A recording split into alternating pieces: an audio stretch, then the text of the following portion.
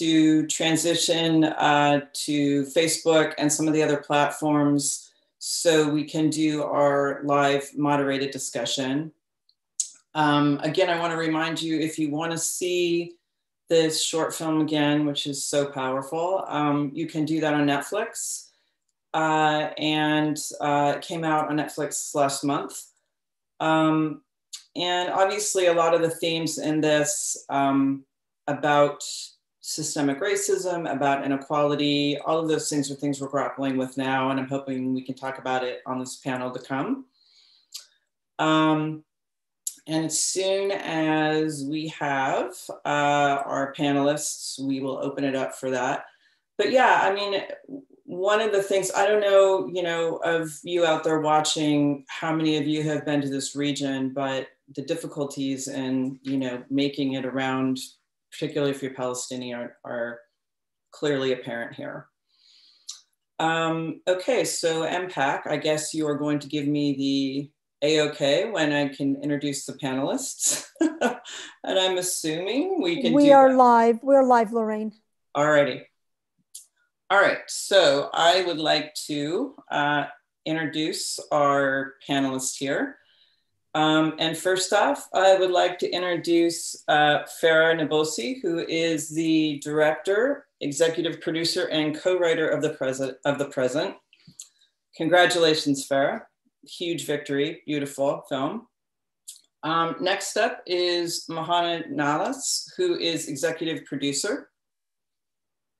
And I'd also like to introduce Saleh Bakri, who is lead actor in The Present. He played Yusef. Incredible job. Uh, I'd also like to interview, introduce um, Dr. Yusef Salaam. He is prison reform activist, motivational speaker, justice seeker, and you will know him as a member of the Exonerated Five. Hello, Dr. Yusef Salaam. And last but not least, uh, Tarak Ben Ammar, film and media entrepreneur. And thank you all so much for being here. Um, if you want to unmute, um, that'd be great, and we can just jump right in.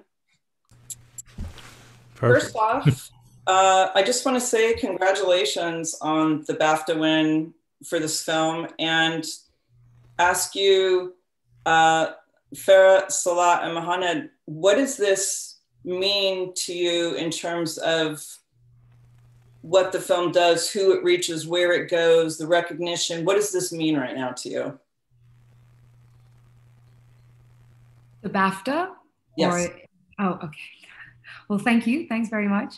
Um, I, it's just another elevation of a film that seems to be resonating with people far and wide. Um, and so you, you you you make a film because you you're compelled to make the film at least for me um, and and it's the kind of art that you want audiences to see. It's it's not a very private art. Some people for example can paint or sculpt and not necessarily want it for audiences. With film for me it's for me and for audiences. And so really you make that film because you want it to be seen. And when it gets these kind of accolades and recognition it just means that more and more people are going to see it or are seeing it. Um, so for me, it's just it's the exposure, and of course, it's an honor. It's it's a it's a beautiful thing to have your work recognized and and um, appreciated. And uh, but, uh, for me personally, it's it's about having your art seen far and wide. That's that's for me if, if you want me to to uh, jump in here, I'm not sure the order. You should yeah. want to ask us, so I'll you know, jump in, and, and until ahead. you tell me otherwise, you, you know, I'm one of those people who are not shy. So so shut me up when it's time to do so. Uh, but essentially, look, I mean, from my end, clearly, as Farah says, this now is elevated to uh, to a worldwide audience, and to me, uh, uh, it, it just makes me feel so hopeful for, for the future of what's happening to the Palestinians. Uh, the Palestinians have such a, a, a, terrible card dealt for them that has been going for so many years. Everybody talks about the great democracy that Israel is, which it is. And I mean, evidenced by their third or fourth election that is ongoing right now. But the idea is it is this particular democracy that is allowing this to happen and sets a blind eye, and not only sets a blind eye, but encourages the settlements and increases this, which is turning into an apartheid system where roads can be used by some and not by others. So to me, it's it's being able to tell that story where it's not people say oh, it's the only democracy in the Middle East and to brag about it. Well, yes, but there's some great atrocities that were done in the world by democracies as well. So doing a blind eye on that is not appropriate. And telling that story that Farah has did so brilliantly and Saleh played that role of thousands upon thousands and actually millions of Palestinians that live under the system that have to accept the humiliation day in and day out in front of their children. So it, it means a lot to so many. And Sarah? Yeah, adding to what uh, uh, both uh, Muhannad and Farah said, uh, I would say that yes, it is. It it's strengthened my optimist. I have two, you know, pessimist and optimist inside me, and they are keep fighting here in, uh, in this place. There is a, a very constant fight between the pessimist and the and the optimist inside me. And the BAFTAs, uh, the the BAFTA prize is, is uh, another hit on the head on the head of the pessimist. Uh, and maybe he'll sleep for two, three days and he'll wake up again because the situation won't change in the close future because of a film. I know that. But at least for one, two days, he'll, he'll gone, he'll be gone, and I'll be resting. Well, Yusef, I wanted to ask you, so for those who aren't familiar with your background, um, you were wrongfully convicted um, for the Central Park jogger case. Um, and uh, I don't want to tell your story, but just to encapsulate it, spent something like 15 years in prison until exonerated. Um, when they see us was a production that had raised awareness about your plight and about what had happened. And I just wondered if you could talk about the importance of shining a light on these areas of injustice, inequality, um, through film and through television? Like, how important is that? I think it's of the utmost importance. You know, I always think about things in what I would call a New York minute. And in a New York minute, especially in today's world where we microwave everything and we want things instantaneously, this film in particular gives us an opportunity to address some very, very um, powerful ills in the world but also gives us the opportunity to see a way forward.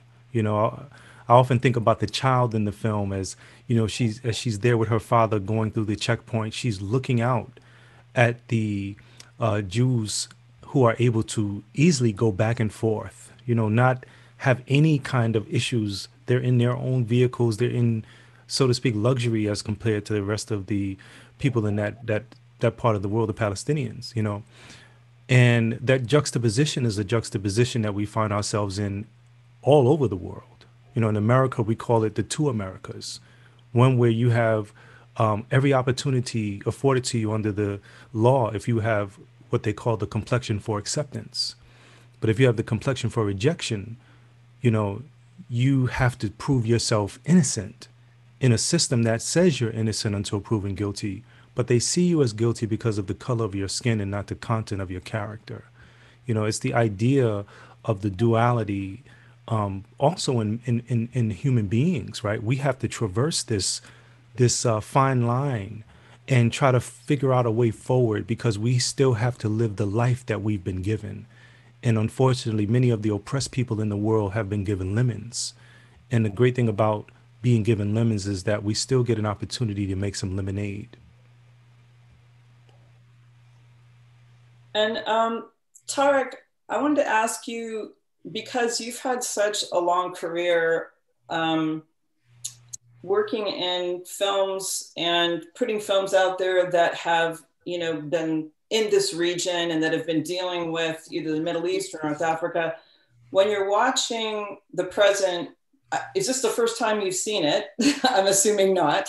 But you know, what is your reaction to it? How did you feel about it? What is it? What does it bring up for you as someone who has a long history in making films from this area? First of all, what Yusef just said about the lemon and the lemonade, uh, it's a very powerful um, way to, and of course, the portrayal of films are, are essential. Look, look you, you reach people's brain through the heart. And that's what the present does, right? Whatever the story, whatever the injustice in the world, uh, the media of film has given us some great lessons. If you look at all film history, let's go back to the topic I'm very close to racism in America and racism elsewhere. Um, you know, To Kill a Mockingbird, that book and that movie. I was a young man, I was a young Tunisian uh, North African in an American school. I immediately connected with the uh, civil rights movement. And then I was lucky to have met in Washington, D.C., the Black Panthers and Stokely Carmichael, all that world, and making movies through the heart. Um, in fact, I had a question for, uh, and and Farah did exactly that. She she didn't make a political pamphlet, a panel where we can have discussions and all kinds of scholars can come if if she has won the battle of reaching those few thousands of people because thanks to social media we get we get access if all of a sudden people who have no idea what israel and palestine issue is and everybody thinks it's arabs against jews right? It's a religious war which it isn't. It's been manipulated by religious people on both sides. Uh, religion has become a political party but you get, get people in the heart, and then maybe you start creating an awareness of the injustice. Um, I wouldn't want to have the Palestinians wait 400 years like the my uh, African American brothers who are still fighting the injustice. And Yusef is a, uh, paid his own big chunk of his life to that injustice, and we see it every day. We're in the middle of the George Floyd trial now will we have will have we learned something? I don't know. Will america have woken up? Yusef can maybe answer that certainly for sure better than i but we should continue. There is no small small movie you know Farah is not a filmmaker. She didn't do it to make a statement. She didn't do it to win the oscar. She didn't do it i don't know i'm speaking for her i'm sure she can uh, to win the bafta. That is the reward of her passion and uh, you know her background uh, she comes from banking so all of a sudden she's not in that world that is typical filmmakers. Saleh is an actor. He told us earlier in the panel that you know he deals with culture. He, he doesn't want to deal with politics. And he's right you know we we we should stay in our world. Uh, i as a producer uh, have to make films that mean something to the communities in which we live in right so we each of us have has to contribute, and this is a very important step that Farah and the backers and Mohammed and all the investors that helped, and you, Lorraine, helping getting it out, and Sue in her defense of the image of, of, of Arabs and Muslims um, that has been so terribly portrayed in Hollywood and elsewhere. thank you. I mean, and those are great points. And I like bringing it back to Farah. What, you know, because as Tarak just said, you actually came from the corporate world at one point and you kind of switched careers. And which brings it back to why do this film and how did you do it? I'm so interested to know how you shot this film, where, what were some of the challenges? Um, I'm sure you have some amazing stories, and you know, of what it looked like to make this. Okay, so first of all, I just want to, uh, Tarak, follow up with this idea. When you make a film from your heart, it is received with other people's heart. It emanates in the film. And certainly this film was made truly from my heart and beyond me. And I think that that is what resonates in the film. Um, I just want to touch on Muhannad's point much earlier. I disagree. I don't think it's a democracy. I think it's an ethnocracy. And that's a whole other conversation for another time. But, you know. Um, so filming making this film i mean you know i jumped in the deep end that's it i decided i wanted to direct and it's tough making a film no matter what you know uh, you're, you're, you're, chasing the light you've got budgets to deal with and, and the stress and uh, timing and all of it and then to choose to then film in what is essentially militarily occupied territory is just adding another cloud of, of, of pressure and stress uh, but of course you know, when I knew I had the opportunity to film in Palestine, I jumped at it I, without question. Uh, the authenticity, the set backdrops, the actors, the accents, the, the all of it. It just it made absolute sense. Uh, the topography as well of all of it, um, and you know, you just make wise decisions of, of where you're going to shoot. For example, um, I found locations I absolutely loved that were in zones areas B and C. I don't know if everybody on this um, event knows this, but the West Bank has been chopped up into areas A, B, and C by the Israeli military. And areas B and C are much you're much more under the, the Israeli military's control. Of course, all of it is, but those areas more so. There are more checkpoints there, more settlements and uh, illegal settlements there. So I would find great locations that were in areas C, for example. I, I had to abandon them. We ended up in locations that were much more noisy than I wanted, um, more traffic. You surrender to it, you, you accept it. Um, scene two of the film is a real checkpoint. So that scene you all saw with hundreds, thousands of Palestinians from, you know, three in the morning all the way to sort of seven in the morning is, is documentary. Uh, Saleh Bakri is the only fiction, uh, the, the, character of Yusef that we placed amongst uh, thousands of Palestinians going to work in an infamous checkpoint in, in Bethlehem called Checkpoint 300. And that was tough. That was extremely tough. And I know, I know Saleh can speak to that as well. Um, guerrilla style, two camera people, um, no lighting. Uh, I'm a blondish female, you know, coming out, directing and hiding behind a wall again. The military were around the corner. We, we knew how far we could go before we came into their sort of line of vision. Um, and then we constructed the other checkpoint and again chose to do it in, a, in area A um, where we had a lot more control. We knew we hopefully would not be stopped or have anything confiscated, which can happen, of course. But you're wise in those decisions. What did happen is that the local Palestinian community surrounding that constructed checkpoint actually thought a real Israeli checkpoint had been set up. And, um, you know, yeah. And you know that, that broke my heart. Uh, and we we kind of i was you know horrified actually. Um, they were very distressed and we sent people out and i said please tell them it's not it's not it's not. But i was very pleased that it was a very authentic checkpoint that the indigenous people you know believed it was real. Um, and there's all sorts of stories i can go into that you know uh, whether it's delays because of you know various things. But um, overall I would say that I am so pleased that we we we did shoot there, that we did take those chances, and overall, with the help of a wonderful team and optimism versus pessimism, we managed to get it done, and uh, and here we are. And Saleh, you had a story, um, I think, about like what the reaction of some of the locals was when you were shooting. Um, I think you had talked about it in a previous interview, something to the effect of like, you know, what's the point? It was it was almost pessimism. What's the point of doing this? Like the whole world knows what's going on and nothing's happened. With am I putting words into your mouth or? No, no, no.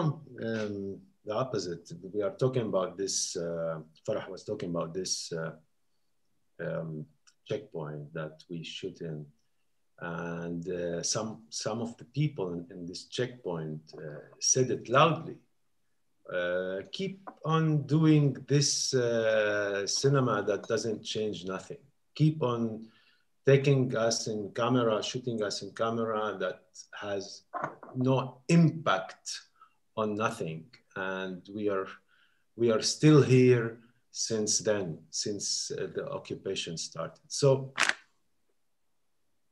so nothing changed, camera and cinema. And for these people who are tomorrow, three o'clock in the morning, they will be there going to work. We will be in the Oscar while these people will continue going to that checkpoint to get to work and then come back and bring some food to the frigidaire that doesn't work at home. So, so I was speaking that because of, I said also that, that, that uh, the drama in life in Palestine is much bigger than any drama that we can do. It doesn't anymore, people are not anymore curious about it. Mm-hmm. They head off cameras. They've been shooting them with cameras and, and other weapons since the first intifada and nothing happened. Mm. Uh, nothing changed. The opposite. The occupation became worse and worse and worse and still going worse. Uh, so that and, and that makes the, the work, our work, more difficult because people around us, generally speaking, of course, are not curious about it. So there is always a noise, there is always a chaos. Yeah, there are, of course, people who are curious, maybe younger generation are curious about what you're doing, but generally speaking, no, once we've been shooting a film in, in Nablus, in Nablus, and uh, and we've been with the got uh, like a, a, military Israeli military jeep, uh, like um, the, the, from the art, and they started to throw stones on the jeep. Wow! They knew this is a film. They knew we are shooting a film, but they didn't care. They just wanted to throw stones on the Jeep because this Jeep mustn't go on uh, there. You know, it's just a, a symbol of all their misery. Wow. They had to, sh- to, to throw stones on the Jeep and they destroyed that Jeep. We couldn't shoot with that Jeep. Wow. Wow. Can I say something though? In, in, in our defense, and by that I mean directing a film, defense. You know, Saleh, I think so many of the people at that checkpoint are used to news cameras, um, uh, you know, uh, journalist cameras, um, not necessarily uh, coming for cinema. Um, I, have watched so many, you know, Palestine-related films, and that checkpoint does not necessarily feature in, in cinema. And I think that there is a difference. There is a difference you know and they don't they don't know the difference of course a camera is a camera to them but in terms of what we did with that footage we did something very different. They weren't numbers. It wasn't a news. It was yusuf that was re- represented. And they are yusuf. All those men in that queue are yusufs. So I, I feel that it took a very different tone. They they don't know of course and they to them that was a camera. But in terms of where our work is going it's very different i think to what they think or thought we were doing there, if you get my meaning. Um, yes, I, I, I, know, I know, and I know that cinemas doesn't exist almost in the West Bank since 1987, the beginning of the first Intifada. All cinemas were shut down, so people has no access anymore to a cinema. Wow. Since 1987. Wow. But you know the the difference in you know th- that's like when you're saying the pessimist and the optimist the shift that's happening here and we like when, when i mentioned when they see us the, the shift that happens between something being covered on the news and by the media and then when the storytelling and the narration happens and it's flipped around by someone like Ava DuVernay or somebody taking the story and we get to tell our own stories, right? And so Yusef, I saw you nodding when you were, you know, when you were listening to Saleh talking about this. It's like, it's like, uh, how do I say this? Everything's invisible when it starts, when it's the media and pounding the same message over and over again. But all of a sudden, when that same story is told from a different angle, which is what the present does I feel like it opens up this entirely different scope and people do become interested again. I don't know, maybe I'm painting a rosy picture on it, but it does seem that way. I think it does. I think that this is a seed. And in the seeds that will blossom in the future, you know, we have the great opportunity to participate in that change now, right? Because I forget who said it, but somebody uh, said that the imagination is the precursor of what's to come. And so, if you can imagine a reality, if you can imagine a future that is alive and well as opposed to alive and sick, then you have the ultimate opportunity to participate in that in the greatest way by the artistry that you choose to use, right? We can do, you know, you can think about it, people can do anything with their time, but to take a moment of time and utilize it to plant a seed like a rose growing from the concrete is a beautiful thing you know it gives people the opportunity to see you for the very first time in a way that they may not have seen you before i remember in a previous interview and conversation we were talking about that people had this this idea that the occupation had something to do with people's jobs you know how it was such a disconnect in the in the global uh, mind that this is what's going on there. The same thing that we may call racism in America, the same duality that we have in America, is is similar across the world, which gives me the um, mindset to say that we are not fighting against people against people's color, the skin color. We're fighting against spiritual wickedness in high and low places. That can attach itself to anyone right? And so to be able to um, choose to do something beyond positive, right? One of the greatest things I think, you know, I'm thinking about things from a, a spiritual platform, and I'm saying to myself, you know, on the one hand, you have people who, my experience is America, but around the world, who they don't really care that you have a camera on filming them right? In America, we see this all the time with, you know, defunding polices and and so forth like that. But in the world, it reminds me in the, a verse in the Quran that says, "What's the matter with you? Do they think that no one sees them?" That that is one of the most scariest truths to reckon with because we don't have any examples of that, right? That example when when we are sh- when we finally wake up into that truth, that hawk, we will never be able to go back. We will want to be good. We would want to, you know, I mean, I'm thinking about perhaps maybe one of the final scenes. Um, Avi is there, and you know, um, Yusef is saying, "Hey, listen, you know me. I live right there." Right. Just prior to that, he tells his daughter, don't worry about it. We'll go back and get it another time or tomorrow. Like, this is their tract in life. This is what they have to do. This is this is the lemon or lemons that they've been given, you know. But to to finally be able to be seen and for that to have a ripple into the future that future being shown by that child walking through the checkpoint on the same side as the Jews. Not waiting, right? Not waiting to be to get permission. Not waiting for permission is important because we see all we see that as well, right? We see Yusef and his daughter, he's they're, they're waiting at the checkpoint after they have the refrigerator. They're waiting. They didn't even, you know, we in America we would say, "Hey, excuse me, I'm here to but they're waiting to be seen, to be recognized, right?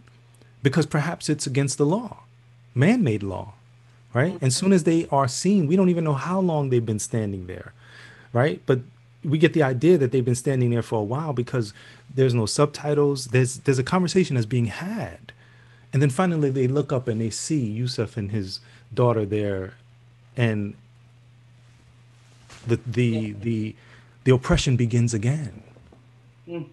I, I want to kind of interject there, beautiful Yusef, and and and you see you see it all in in this film. For me, it's like the title of of the film that Ava did for your story. Now they see us. Now they see us. Yes. And I got to tell you, um, I am an optimist. I have to be an optimist, and this is how I forge forward with everything I do. I'm alive, and as James Baldwin said, I have to be an op- optimist. Otherwise, uh, you know, my life is uh, is an academic matter. Um, I receive messages from people all the time saying exactly that. Now they see us.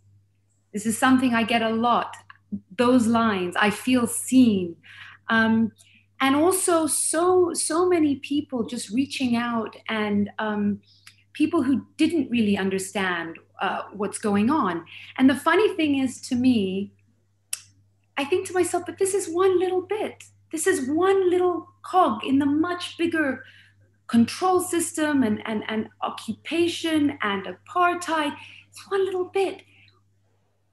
And it's yet resonated so, so, so much with, with, with people. And you realize that that's the beauty of it in the sense that this is the PG version. This is the PG version. This is this is not, I mean, really, if we want to go extreme into what happens at these checkpoints, we can talk about women giving birth and losing their babies or losing their own lives. We can talk about people dying at these checkpoints because they can't make it to a doctor or a hospital or being shot at these checkpoints and so on and so on. But that's not necessary. The PG version is so absurd and so simple and so basic and so relatable that it is resonating with people.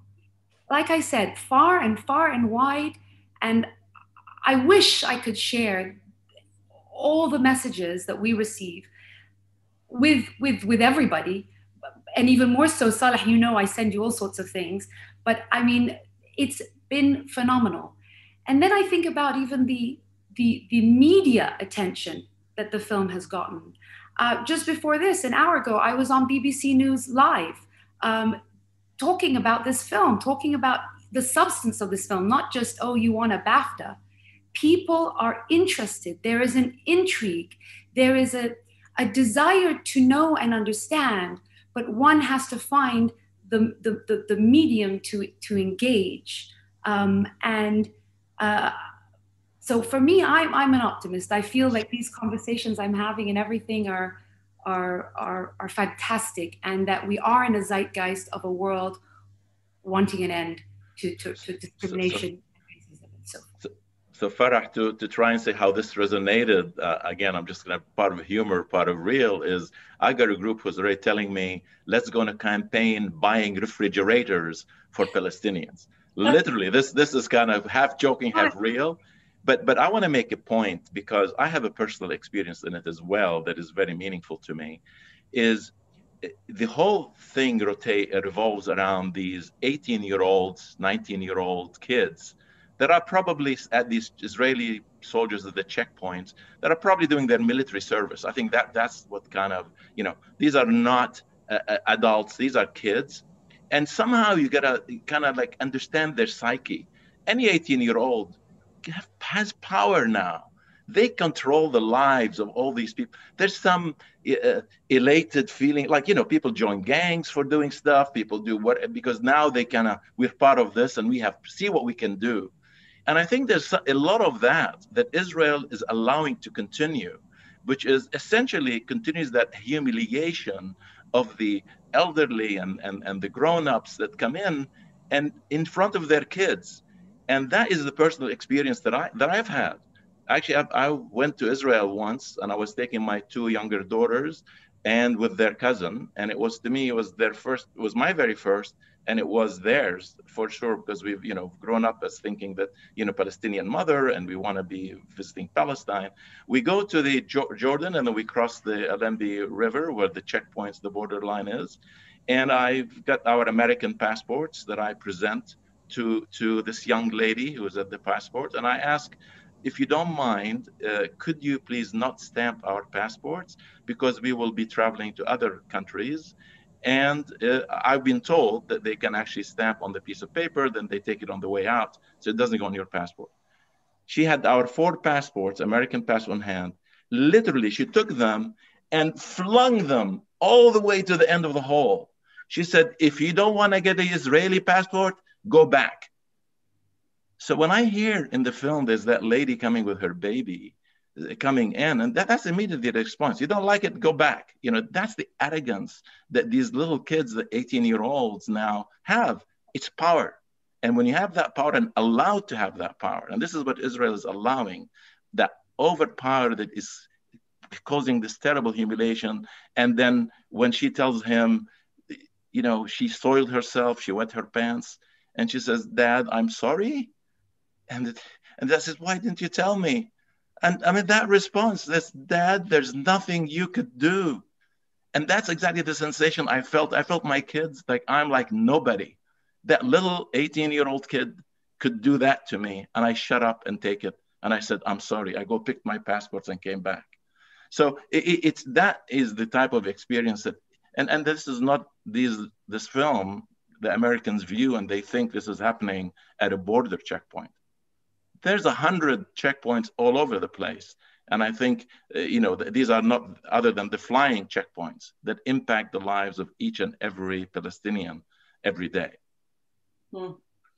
Um, Yusef and, and Farah and Muhannad, of course, what you said, I, I've been through that, I've seen it. But to answer Saleh's comment, yes, the Palestinians have almost given up believing that others are going to help them. It's been 60 years. Um, but this film was not made for them.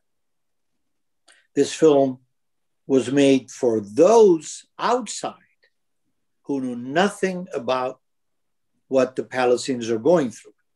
And the fact that the film got to the BAFTAs and is at the Oscars starts opening people's minds. I'm going to give you an interesting experience. I was behind the making of Passion of Christ with Mel Gibson. He couldn't get it made. And I stepped to the, because as a Muslim, I said it's my duty. That film was released in the Arab world. It's the first time ever, you know, under tradition, you don't show prophets. So Jesus is the most important prophet in the Quran. And therefore, I didn't think it would get released. The Palestinians that's interesting. Saleh, there were still some theaters in 2004 when the film was released. It was all over the Arab world. And Arafat and the PLO saw the movie and they made a big press release saying, We are like Jesus. What Jesus has gone through of the occupation and violence that we, that he 2000 years went through, this is who we are. It was very strong. I never thought they would connect Passion of Christ. So that was important for the Palestinians. But today, Saleh, the only way you're going to get the Palestinian people to believe that things will change is the way the blacks in South Africa believed that they would get their freedom when the world boycotted South Africa and everything that was done to help South Africa with Mandela in jail and then out of jail, they finally got their freedom. I don't know how long it's going to take, but the more the world wakes up with little things like this movie, and today, social media, yes, you're right, there are no theaters, uh, Saleh, in, in not only in, in Palestine, but also in Tunisia and Algeria, in Libya and Afghanistan. There are no movie theaters, but there's social media.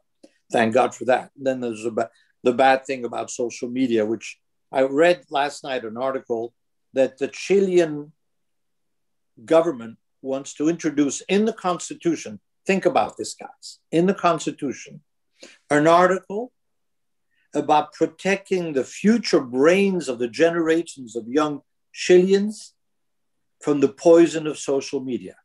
Quite interesting. I don't know how they're going to do that. But the fact that they're going to put it in the Constitution, how are we going to protect our youth from all of this coming from outside when we cannot talk to our youth? In the case of the Palestinian Saleh, this movie, if it's on YouTube everywhere, and little by little in schools, professors, executives, politicians, the Israelis will not move unless there's pressure. They're not going to move just because they're generous. It's an occupation, the way South Africa was an apartheid, and it'll take a while. And I know I've been in this Palestinian problem for myself 40 years trying to do something, and we haven't made any progress.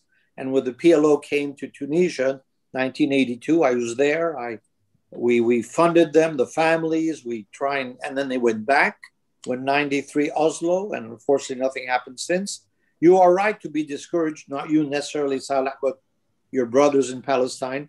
But we have to believe in the optimism of Farah and of uh, Yusef saying even a small thing uh, gets that across. Um, if this movie wins an Oscar, it won a BAFTA, all of a sudden they're going to say, The present, what's that about? Oh my God, I didn't know this is happening today. Little by little, people are going to realize that it's not about not having work, occupation, like Yusef said. You know, it's really being colonized. I come from a country that obtained freedom, not through violence, from the French. As you all know, North Africa was colonized by the French, Algeria, Morocco, and Tunisia. I come from a family that fought that and obtained independence. The Algerians did later, and the Moroccans with us. It took a long time, but what Israel is doing is a colonization. It's not just an occupation. A colonization means exactly that second class citizens, right? And yes, you are right. The 18 year old uh, border guards, uh, Muhannad, our brother Yusef can tell you how the young African Americans are treated by young white policemen. You know, all any young any young man, white or non-white, that puts a uniform, I don't know why, the uniform makes them automatically either fascist or certainly aggressive. Whether he's a custom official, whether he's yeah. on the French streets, an Italian, something about human beings in costumes. They put it on, it's they go crazy, right? The uniform, so, the uniform is tricky. oh my god! Um, so yes, uh, it is a problem, but Israel has to and to respond, Farah. Democracies start as democracies, and then they become dictatorship or ethnocracies. Originally, uh, uh, Israel it was a democracy, or at least pretended to be, and now that you have second-class citizens, but Unfortunately, if we have to wait 100 years, we won't be around, but we know the demographics. There won't be in Israel. So, you know, let's. Um, I just wanted, sorry, I didn't mean to cut you off. I just want to make no, sure no, I finished. time to get questions from people because um, there's quite a few questions. Um, and I wanted to say for you out there listening, if you can I know you all are putting some questions in the chat box. If you can put them in the Q and A box, because I, there's so much stuff in the chat, it's kind of hard to go through there. If you can put them in the Q and A box. Um, one of the questions is, um, Farah, where did you find this wonderful little girl? She's fantastic. Yes. Maryam Kanj is is the is the young girl, and uh, you know, long story short, I I knew her aunt um, and she's a friend of mine. I had cast Saleh Bakri and I was visiting her and I said to her, I've got to find a young girl around eight years old and she needs to act, she needs to speak Arabic. And ideally, you know, just not a very tall order, look like Saleh Bakri. And, you know, Saleh has these brilliant blue eyes. It's not easy to find someone who would look necessarily like him. Um, and she said, What about my niece? I said, What do you mean, what about your niece? She showed me a picture and I my jaw dropped I couldn't believe it. She she was perfect aesthetically. I said, "Does she speak Arabic?" She said, "Like a grandma." I said, "Can she act?" She goes, "I think so. I don't know, but you know, meet her." And she said, "But she's a, a wonderful, confident girl." So I, I I met her in Nazareth. I went to see her as you know, and I had other work to do, of course. I fell in love with her. Um, she is such an intelligent young girl, emotionally intelligent. She is she is confident, and you know I don't need to explain. You've seen her in the film. Uh, she's a natural, um, and uh, that's it. My gut knew I had found my Yasmin, and she was the first one I met. But I felt foolish you know, really, is this is this is this perfect? So I went off and auditioned a few more kids and and just went right back to her, you know, right back to her. So she's she's she's not a trained actress at all, but again, world conspiring. Her father was actually on board to be the production designer uh, manager on on on our set. Complete coincidence as well, and um, and so she had been on sets before. She just never properly acted or anything. And um, and Saleh can tell you now he he also is knew her and knows her family. Yes, I, I got to know uh, Nael and uh, Layla before they got married. We used to to meet in Nazareth, and we we were friends. We still are. And then they got married, and they have three children and by coincidence, I didn't know Farah would, cast Maryam. She, when she told me, I was very happy.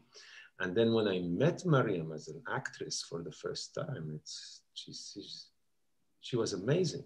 And she was there and uh, living every moment. And this is the most important to live the moment and to believe you are there and to, to, to feel you are believing you are there, to feel you are believing that this is your father.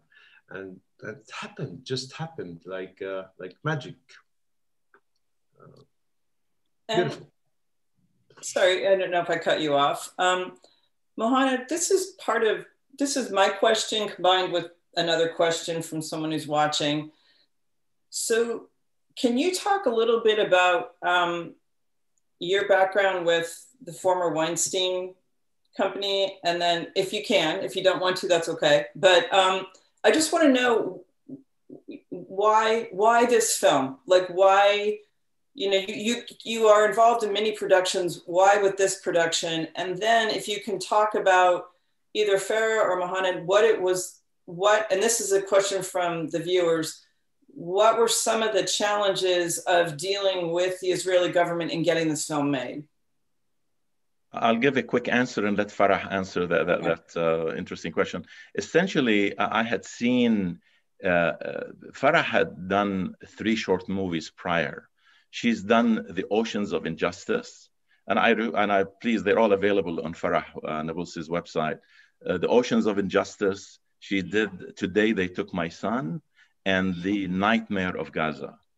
And those were, I mean, when I watched those and I had a chance to, to, to get to know Farah more during that period, it, it's exactly what Tarak was talking about. It's, it's, you feel the passion and, and you feel what, what uh, the creativity that goes into making those films. And I hope people will get the chance to view these. Uh, uh, they didn't get the acknowledgement because I think Farah was, was doing them for her uh, satisfaction and and and telling that, those stories that she wants to tell. So to me, when I saw those films, it was necessary, and I had those experiences that I, I described earlier. Uh, I felt this is the kind of film that needs to be supported, and and and I did that role in in the great work that, that Farah does. Um, yeah, just to clarify, so those were adaptations of things I'd written and I produced them. I did not direct them. And they were more portrait, more tone poem, um, more experimental, me getting to know my identity, you know, as, as a human being, a filmmaker, and of course, telling the Palestinian stories that I wanted to tell, but very, very different to the present. Um, and to your question, um, what, what I, what, what kind of, uh, permits and kind of uh, process with Israel. I did not communicate or have any interaction whatsoever with the Israeli government whatsoever, zero. I didn't want to and I didn't need to. We were in the West Bank, the 22% of what remains of historical Palestine, the other 78% being Israel. Um, uh, uh, you know, that became Israel through ethnic cleansing and, and dispossession and all of that. So we're in the 22%, of which consists of the West Bank and Gaza. And in the city centers, if we needed permits, it was with the Palestinian municipalities. Um, the, the one area where one would have said, Ooh, where did you get a permit from and how was checkpoint 300. Uh, I did not seek permission from anybody. Uh, philosophically, I refused to. You know, who, who do you go to, to, to request permission to, to, to, film such a thing? Um, so, it, it, you know, that was that. And, and, and we, we filmed, we filmed. I mean, you've got to remember there is other, other filming that is taking place in the West Bank, whether it's for some Palestinian comedy show, whether it's for, you know, um, and as I mentioned earlier, we were just intelligent where we where we shot, and we we got permissions from the, the Palestinian municipality when when needed, um, and and even the help at one point from the policemen to stop traffic, um, you know, and and that was it. That was it. Uh, here's a question: um, A brilliant idea, uh, but how exactly did the idea of a fridge come up as the gift? A simple a simple question but really one on everyone's mind i think yes yeah yeah um, it, it, it, it was a choice, a symbolic choice for me. The, the real conversation I had with a Palestinian very near his checkpoint, where the seed of this story was laid, was actually about a couch. There was a turnstile and a metal detector. And I said to my friend, if you needed a new couch, what do you do? And, you know, it was the concept of if it doesn't fit, it doesn't go and so on. So when I when I when I was kind of coming up with the story, I thought, my God, okay, a couch, put that aside. A fridge is is sustenance. It's it's it's where you keep your food fresh. It's how you keep your family essentially alive. I mean, ultimately, if we're talking about men in Palestine. Um, it's not to say that women don't work and all of that, but if we're going with a cultural angle, every man is, is trying to sustain his family against the odds uh, in, in the most stressful and strainful circumstance. And uh, as, as we know, I say circumstance, of course, I'm talking about occupation and apartheid. Um, and so for me, the fridge was just symbolic of that. And if a man cannot sustain his family, if a man cannot bring home something that keeps food on the table, oh my God, like what, what are we talking about here? What are we really talking about here? Um, so yeah, that was that was the choice. And interestingly enough, I had sat with Bassem Tamimi in, in, in Bilin. So he's the father of Ahed Tamimi, who I don't know if everybody knows. She's this brilliant woman, young, young or old teenager, who ended up uh, being taken to prison for, for slapping a, an Israeli soldier. So I was chatting with Bassem in his home, and he was telling me, and there's a checkpoint literally at, at the entrance of the village. And he's telling me the number of times I've come home with food, milk, yogurt, meat. And then he's held up at the checkpoint for hours. So when he gets home, he throws it out. And I just, again, so simple, so basic, things we take for granted. So for me, fridge, food, sustenance, it, it's, yeah, it symbolizes every man's struggle in many ways. Yusef, did you say something? You were muted. I don't know if you. I, I just was saying, wow, you know, I remember, and, and the reason why it, it, it's such a pronouncement to me is because I remember I was talking to my wife once, and I said, you know, in Islam, um, when you realize that the whole of your life is worship, it becomes worship because what you do and your because of what you know, right? And so even in that concept, when you go out to, you know, find food for your family, you've just done, you just worshiped God, you know you you participated in what it is that you're supposed to do. And here it is in this particular instance we see a version that we can all relate to by this refrigerator right? It's like how big how small can you make a refrigerator? Here's a refrigerator that needs to be the replacement for what's already there. And yet because it can't go through these narrow i mean i'm, I'm thinking about that juxtaposition of this narrow space when you just saw earlier in the day and every day, all day, people being allowed because of their, you know, who they are, um, to drive freely. Perhaps put it in a van and take it home and have have delivery like we have in America, right? Oh, when is it going to be here? Between nine and nine. Give you some kind of outrageous time where you have to just wait at home, you know. But here in this particular instance, it's like the the basic necessity. We're going to oppress you even in that. Mm, yeah. The daughter, the daughter having to use the bathroom and knowing that she had to wait for her father. Mm. You know, the childhood, the, the, the, the, the innocence being stripped and taken, right? All of that stuff. It's like the dehumanization of a people, similar to what they had done in, in, in Vietnam. I remember, you know, watching footage of Muhammad Ali talk about, you know, why he was not going there. And he said, if you want me to fight, I can fight here. I can fight you. like you're my poser. You know, you want me to fight these people, but I, I kept listening to the language that he was given. And part of the language that was being used was this term that they were giving the people. In the term, unless they were called a child of God, was demoralizing and causing this person to imagine, right? We talked earlier about the concept of, of a uniform. And the beauty of the uniform is that it was it was described as a costume, right? And I think about what they talk about in America where they say absolute power corrupts absolutely. Mm. Right? You have to you have to look at the sacredness of what you've been given, right? And utilize that sacredness in a very intentional way, right? Questioning yourself, interrogating yourself. Am I doing this for the greater pleasure or am I doing this for myself? And if I'm doing this for myself, what happens as I do it for myself, right? And there's a challenge in that because everything that you should do should be for the greater pleasure of the Creator.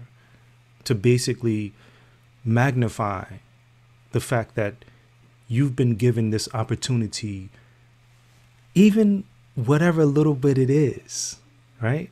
You've been given this opportunity and you have to take it and make it into what it needs to be.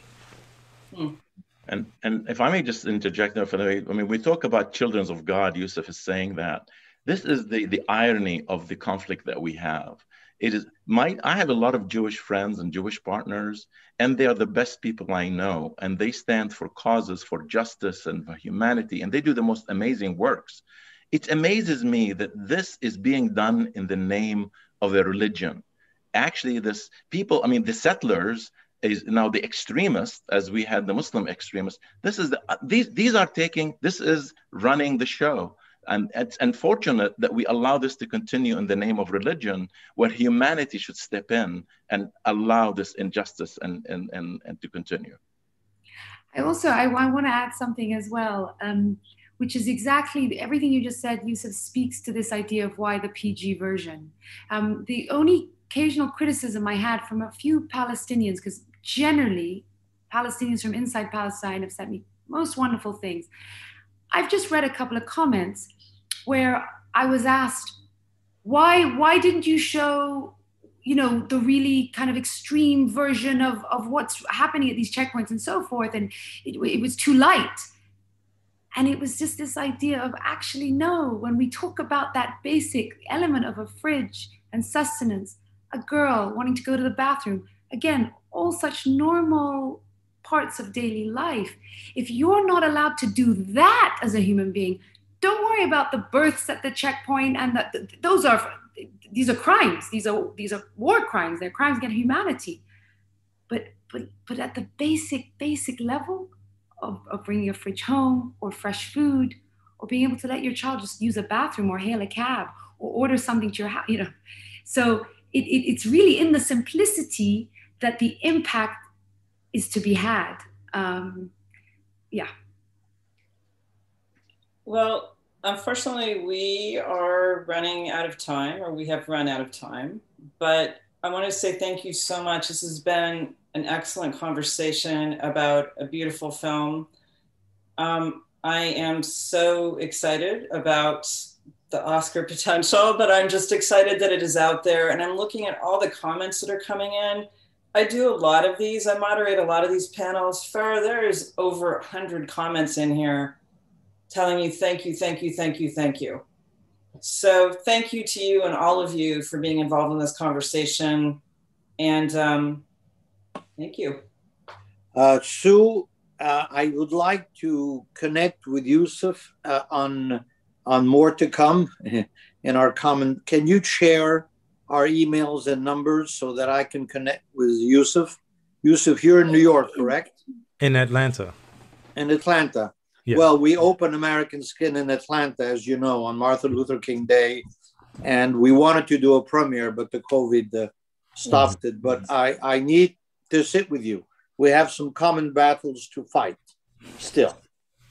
Absolutely. Inshallah. Inshallah. Thank you so much. Um, Raima, please stop recording.